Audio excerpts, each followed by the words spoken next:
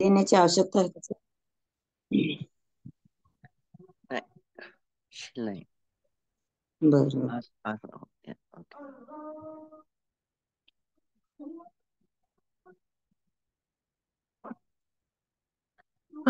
मला सर्वांना हा अजानचा आवाज येत आहे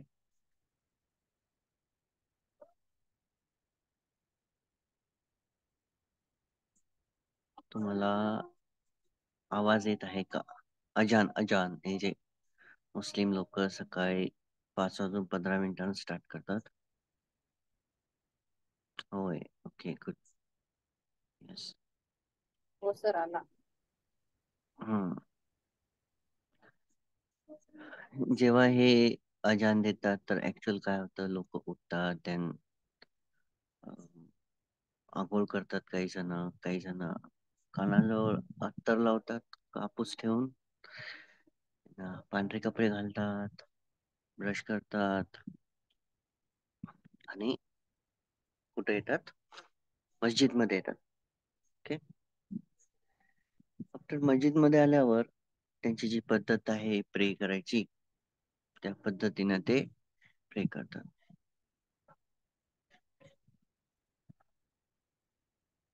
सेम कोणत्या अ, जे काही हिंदूचे टेम्पल्स असतात तिथं पण अ, अ, पूजेची घंटी वाजली की लोक जातात त्यांना फुलं घेऊन जातात. त्यानंतर ऑल थिंग्स हे काही करतात. चर्च मध्ये पण गुरुद्वारामध्ये पण राईट तर अ, ज्यावेळेस हे सगळे करतात. तर हे एक प्रकारच्या ऑटो मोडमध्ये असतात. ऑटो. मी आपल्या याच्यावर पण येतो. आपल्या डिटेल मध्ये सांगतो ऑटोमोशन मोड. ऑटोमेशन किंवा ऑटोमोशन मोड म्हणूया आपण. ओके तर हे ऑटोमेशन मोड मोशन मोड हा जे आहे तर हे कशामुळं? हे झालेलं असतं संस्कारांमुळं. हॅबिट्स आपण काय म्हणतो? शील. हॅबिट्स तर हे काय हे शील आहेत सगळे. हे उठणं त्यानंतर पुन्हा ब्रश करणं त्यानंतर आंघोळ करणं आणि नमाजला जाणं चर्च मध्ये जाणं. ओके. शील आहे शील म्हणजे काय? सवय. तर ह्यामध्ये काय येणार? अकुशल आणि कुशल येणार.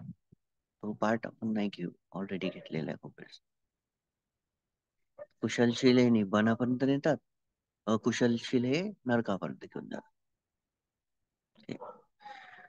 परंतु आता जसं की नमाजला जाणं. हे कुशल आहे.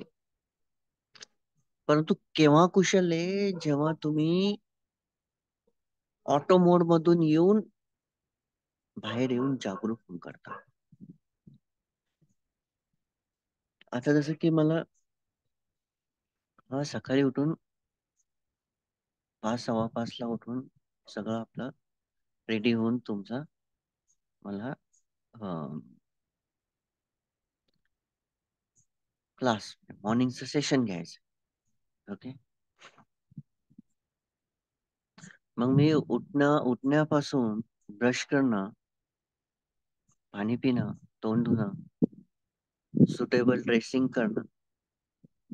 इट्स ऑल्सो इम्पॉर्टंट या सर्व ऍक्टिव्हिटीजमध्ये जर अवेअरनेस असेल तरच ते कुशल होणार.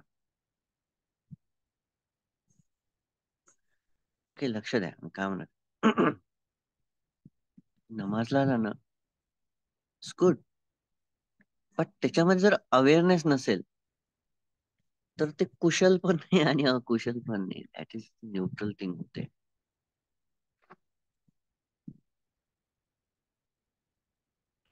त्याच्यासाठी एक उदाहरण देतो मी तुम्हाला.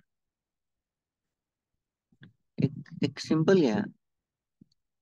पेढा आहे कुशल आणि कारला आहे अकुशल. फक्त उदाहरणासाठी त्याच्यामध्ये काही अकुशल कुशल नाहीये. ओके आता जो पेढा खाते ते त्याचं पुण्य आहे म्हणून त्याला ती टेस्ट लागत आहे. कारला खाते त्याचं अपुण्य आहे म्हणून त्याला ती टेस्ट लागत आहे. कडू. उदाहरण आहे. लिटरली त्याचं काही नाही.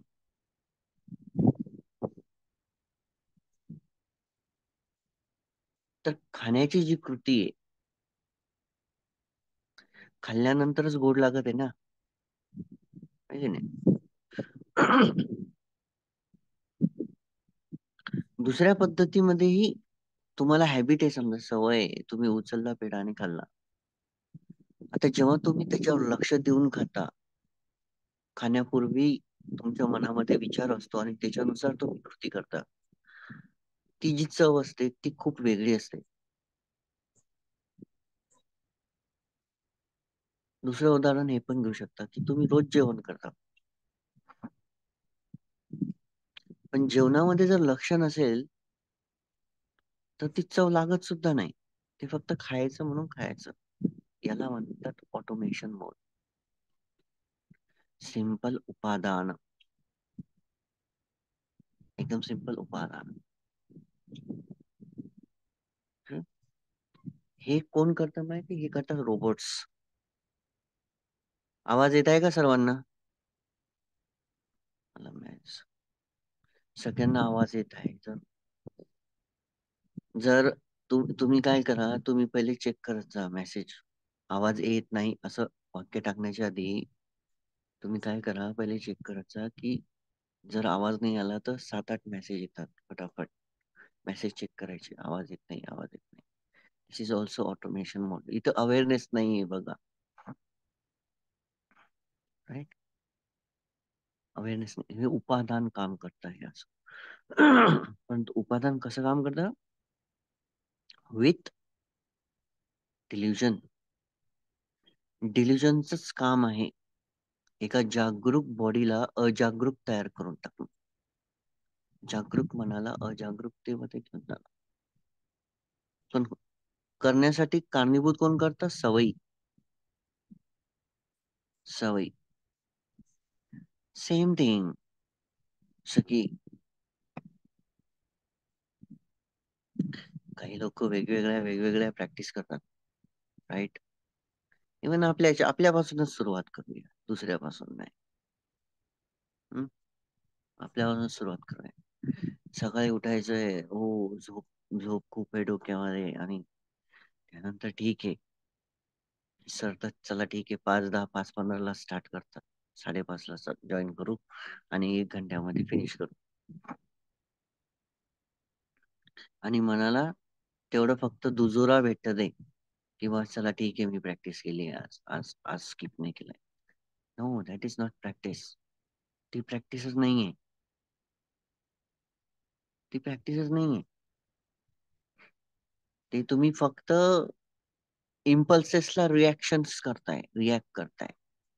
बॉडीला आणि मेंटली ज्या इम्पल्सेस क्रिएट झालेल्या आहेत त्याला रिॲक्ट करताय. ओके? Same thing. तुमच्या शरीरावर स्क्रॅचेस खाज आले.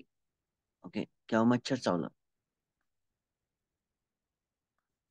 मच्छर चावल्या चावल्या तुम्ही असं नाही करत की मच्छर चावलं तर हा हात उचलायच्या आधी हा हात वर नाही येत तुम्ही तिथे जाऊन चेक नाही करत. ऍक्च्युअल काय झालेलं आहे? तुम्ही हा विचार नाही करत की तिथं काहीतरी लावावं लागेल. की त्याच्यामुळं मच्छरच चावलंय का दुसरं काही चावलंय त्याच्यावर आपण विचार करून काहीतरी करूया. असं कधीच होणार नाही. काय होतं? फटकन हात तिथे चालला जातो कारण की मनामध्ये काय असतं की खाज आली किंवा चावलं म्हणजे मच्छरच असणार. कारण की चावल्यानंतरची जी इंटेन्सिटी असते त्याची हॅबिट झालेली असते आपल्याला. त्याची सवय झालेली असते. ह्या सवयीच आपल्याला गुलाम करून टाकतात. या सवयी आपल्याला गुलाम करून टाकतात. ओके? आपल्याला वाटतं आपण प्रॅक्टिस करत आहे.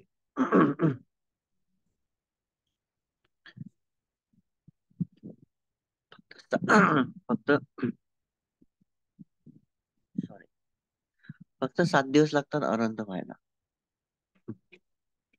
Only सेवन days.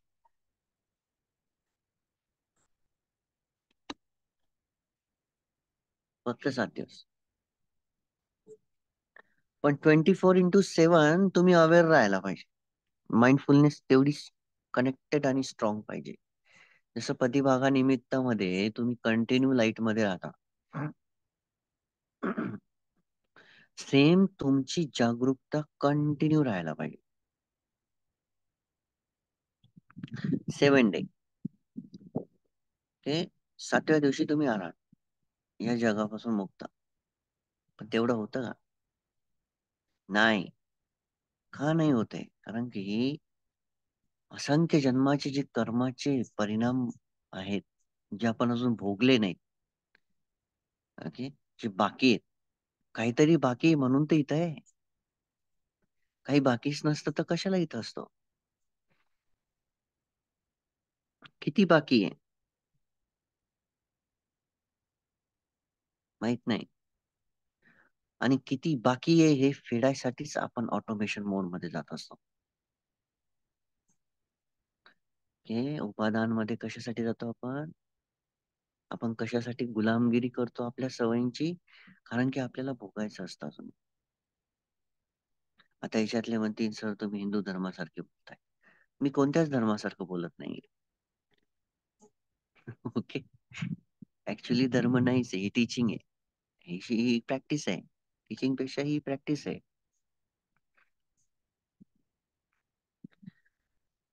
बघा एकदम सिंपल सांगतो. सपोज आता मला हे प्रवचन द्यायचं होतं.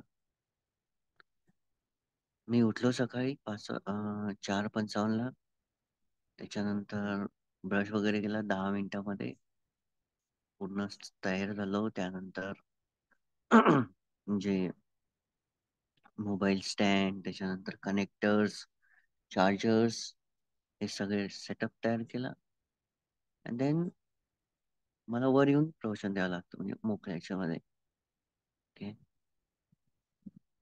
मग फक्त वर येतानाच प्रवचनाचा विषय मला डोक्यात आला. चला ठीक आहे. किंवा आज आपण प्रॅक्टिस इन ऑटोमेशन मोड याच्यावर प्रवचन देऊया. काही प्रिपरेशन नाही. काहीच कुठलं नाही. ओके फक्त एक विचार डोक्यामध्ये आणि आता त्याच्यावर आपल्याला बोलायचं आहे ना कुठं वाचलेले ना काही ना काही ना काही. ओके बट फ्रेश आहे. की फ्रेश दॅट इज कॉल जागरूकता. त्यालाच म्हणतात जागरूकता. आता मी काल जर वाचलं असलं चला उपादानावर काहीतरी वाचेल. गरज नाही. कारण की धम्म हा बाय हार्ट असतो. धम्म हा आतमधून यायला पाहिजे. आपण काय काय म्हणतात त्याला? ग्रॅज्युएशनची एक्झाम देते का? की आपल्याला वाचन करायची गरज आहे नाही आपली निब्बाणाची एक्झाम आहे. जी जागरूकतेच्या पेपर मधून कंप्लीट होणार आहे. ओके प्रश्न काही तुम्हाला पेपरमध्ये नाही राहणार आहे. प्रश्न हा तुमची प्रश्नपत्रिका ही तुमचं जीवन आहे. उत्तर तुमची प्रॅक्टिस आहे. आता हे उदाहरण बाय हार्ट आलं आतमधून आलं. ओके? नाही कधी तुम्ही ऐकलेलं असणार ना कुठं? इवन भगवान बुद्धांनी हे उदाहरण आता जे मी बोललो ते काढलेलं नसतं. का? कारण की हा धम्म आहे.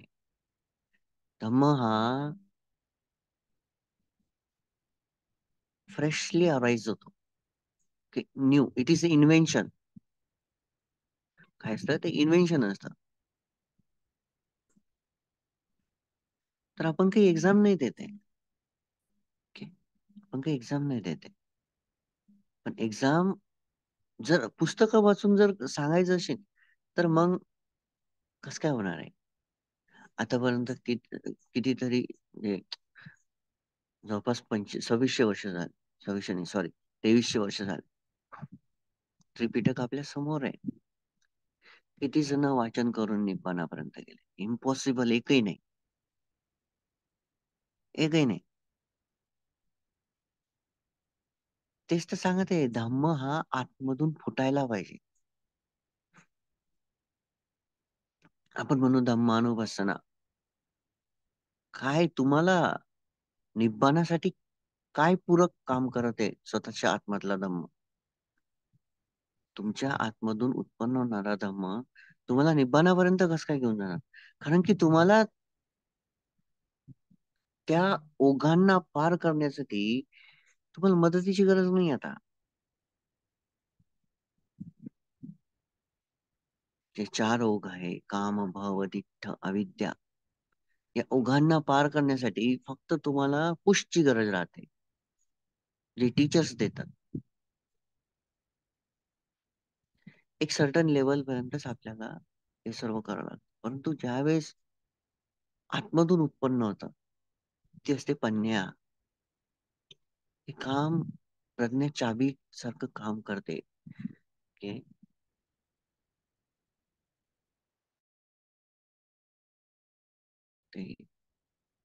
Okay?